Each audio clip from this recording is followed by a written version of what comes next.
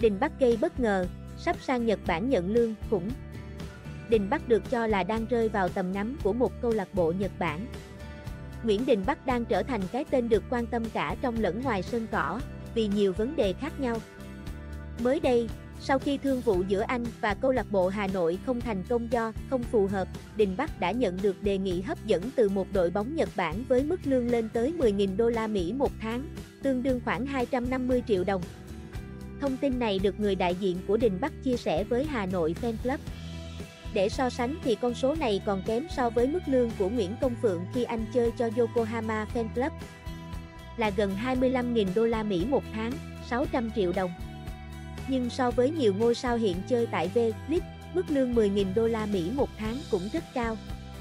Tất nhiên nếu xuất ngoại, Đình Bắc sẽ không được hưởng tiền lót tay, một đặc sản khi chuyển nhượng tại V-League. Có thông tin cho rằng khi đàm phán với Hà Nội Fan Club, phía Đình Bắc chỉ muốn ký hợp đồng cho mượn nửa mùa. Còn phía Hà Nội Fan Club muốn ký một mùa rưỡi.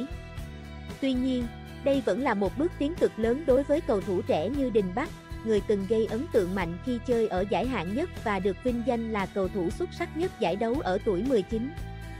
Sự nghiệp của Đình Bắc sau đó tiếp tục thăng hoa khi anh được huấn luyện viên Philip Rusi gọi vào U23 Việt Nam và đội tuyển quốc gia. Dù gặp phải vấn đề về ý thức và hành vi nội bộ, anh vẫn được gọi vào danh sách chuẩn bị cho hai trận đấu sắp tới của đội tuyển Việt Nam gặp Indonesia. Đây là cơ hội để Đình Bắc chứng minh năng lực và gạt bỏ mọi lùng xùm xung quanh mình. Hiện tại, mọi ánh mắt đều đang dõi theo quyết định cuối cùng của Đình Bắc xem anh sẽ chuyển tới câu lạc bộ nào hay ở lại Quảng Nam.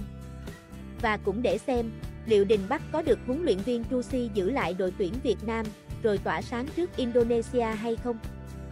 Theo lịch, đội tuyển Việt Nam sẽ đấu Indonesia vào ngày 21 tháng 3 trên sân khách và 26, 3 trên sân vận động Mỹ Đình. Các bạn hãy đăng ký kênh để cập nhật thông tin miễn phí mới nhất.